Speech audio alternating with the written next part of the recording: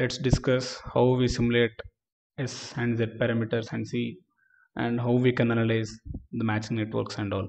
Let's take simple network. I have a port here whose resistance reference impedance is 50 ohms and i have put a resistor of 100 ohms. All right. I'm opening ADEL S parameters. Select this port and it doesn't matter whatever frequency you give because is a simple resistor which is independent of frequency. So I'm giving uh, let's say 1 gigahertz to 2 gigahertz. All right. Linear number of steps. Let's run 100 steps. It's fine. It's it runs quickly. So let's say 100 steps. Done. Now results direct plot main form. And if I plot SP rectangular magnitude it gives me mod of that thing. Since it is real the magnitude will equal real part but you can nevertheless try and see what it says. Real part imaginary part. The real part equals the magnitude and imaginary part is zero because there is no capacitive inductive elements it's a pure resistance it has only real part. And the magnitude is 333.33 milli which is 1 by 3 if we calculate the looking in impedance is looking in impedance from this side is 100 ohms and this is 50 so zin minus z0 by zin plus z0 which is 100 minus 50 by 100 plus 50 which is 50 by 150 1 by 3 0.333 justified. Now let's give it a try and let's put it 50 let's simulate.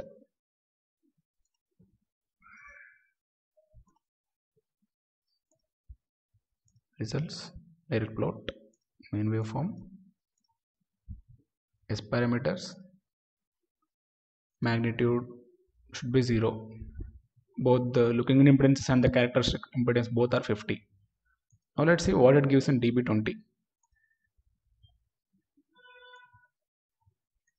this is a little bit interesting. So whenever you see something in negative kilo dbs minus 6.4 kb kilo db or minus 5 kilo db its cadence way of telling that it is very close to zero.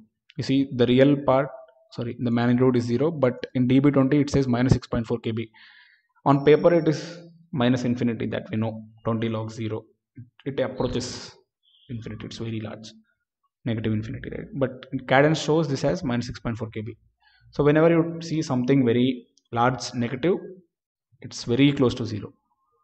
Very very close to zero. Right? So that's what i wanted to show. Now uh, if we have another port here. Let's put an another port here and let's analyze z parameters also. This is going to be interesting.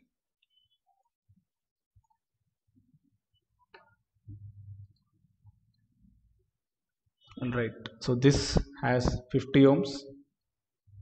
Right. So if i look in this network and if i look from this side or if i look at this node what it sees is this 50 ohms this 50 ohms this 50 ohms right? So and let's simulate this.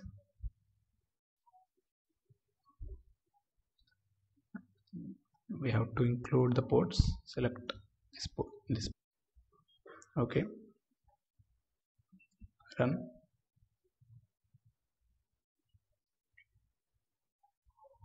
Right results plot now let's look at zp zp is nothing but z parameters. And if i say z11 it says 50 because if you have already known how z parameters are calculated it's very clear that this port will be open up. Right? If you have forgot it or if you are not able to understand this you can watch the video one of my earlier videos that is right up there. Will be open circuited. The only impedance that it sees is 50 but when we are doing matching kind of thing for RF people when we do when we look at matching network and all this impedance would actually be there. We are just putting this for simulations right? So that's where we have to tick ZM and plot ZM1 you see ZM1 is 25 ohms whereas Z11 is 50 so ZM1 is purely designed by the simulator to plot matching network kind of thing. So this ZM1 what it does is it rather terminates this port with the impedance that it has. Whatever the impedance that you give to it that will be put at this point and it calculates. For z parameters it opens the circuit at this point and calculates it. Right? You can clearly see 25 which is nothing but 50 in parallel with 50 making it 25 right? You can play with this a little bit and see what it actually does. Right? Now I have a resistor and give 50 ohms now I'm putting a resistor 50 ohms between these two ports.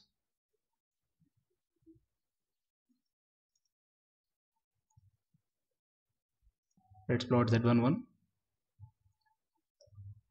see it is in some pico.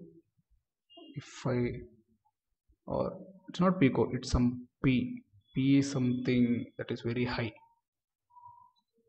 Open circuit should have high impedance right this will be open.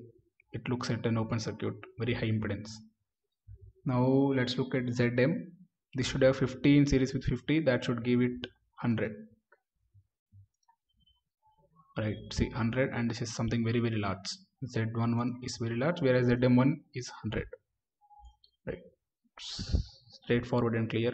You can do this experiment. So whenever you are looking at matching thing whenever you are intending to look at z11 purely in terms of matching network kind of thing then always use zm and not use zp because zp opens up this port but zm terminates the other port with its impedance. That's it